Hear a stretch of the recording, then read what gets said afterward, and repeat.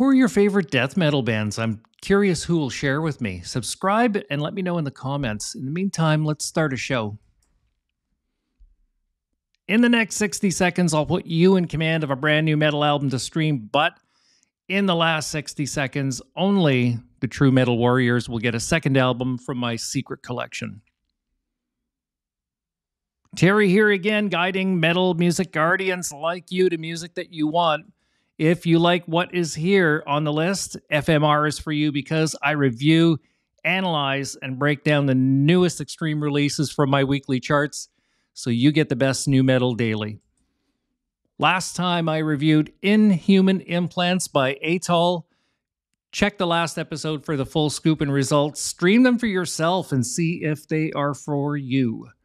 Creation Undone by Morta Skuld is your new album up for a fresh full metal review today. Let's break this down. Before I start, I open the page and I see that there are 10 strong sounding tracks totaling a pretty hefty 44 minutes. The album cover artwork, as you can see, it's a full colored horror theme with custom fonts. I was attracted to it immediately.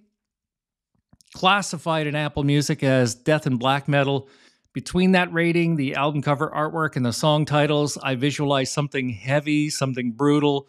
My genre description right now is death metal. We'll see in the end during my reveal. Track one opens with pure mayhem, insane rhythms, melodies, and riffs. It's got brutal, fabulous, old school sounding death and some thrash metal. It's like holy shades of Sepultura here. I'm loving it. Track two is Absolute Bliss. The rhythms and mix of rangy melodies and harmonies wrapped in scorching full instruments with primitive vocals is just really nice. Track three, it's another flurry of fiery rhythms, scathing vocals, and that big razor sharp guitar sound. It's rapture at this point. Track four is just thunder. The attacking guitar, bass guitars, and percussion are dynamite. Track five, it's another white knuckle death metal adventure, totally hot. The rest of the album, it just kept getting better. It's deep, black, and it's stuffed with rhythm overload. In summary, it's embarrassing to discover when I looked on the bio that a band like this has been around since 1990 and it slipped under my radar. This is like an all time low for me. This is a death metal masterpiece, this album itself. The recording and sound quality here was pro. It was clear, it was balanced, it was full from top to bottom. The production and musicality, it was raw yet refined, in my opinion. I rate the overall level of rhythm and tempo as immense, while the harmonies and melodies were more in the midway area. This is my this is to my liking. The lyrical theme here I find is about destruction, becoming a mainstream or radio act here is not going to be a possibility. The range, flow, and layout of this album, it's consistent, and the tracks are arranged with absolute care. I find they're meticulous. I describe the vocals here as beastly, and it's actual singing vocals. It's not fry or gutturals. This brings me back to the 90s when the, the, the Pantera and the Sepultura style vocals were in there. They were very intense. The guitars I describe as rich, razor sharp, full of riff and solo work.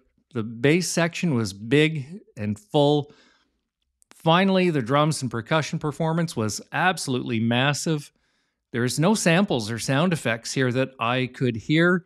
The overall energy and intensity was super high. They remind me of Sepultura AI says that they're closer to autopsy or entombed.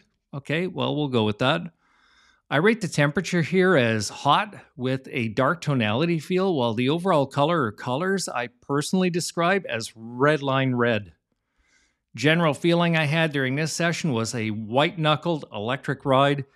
It led me to give this album a huge seismic reading of 8.7 on my Richter scale I'm going to throw this one into my top rotation, I believe. Uh, the, my reveal at this point, my prediction from earlier was death metal, and my final genre description, it sticks. It's still death metal.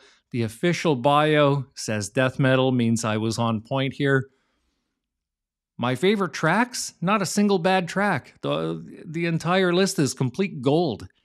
And of course, it's going into my library. And a reminder, lastly, for you guys please stream them for yourself.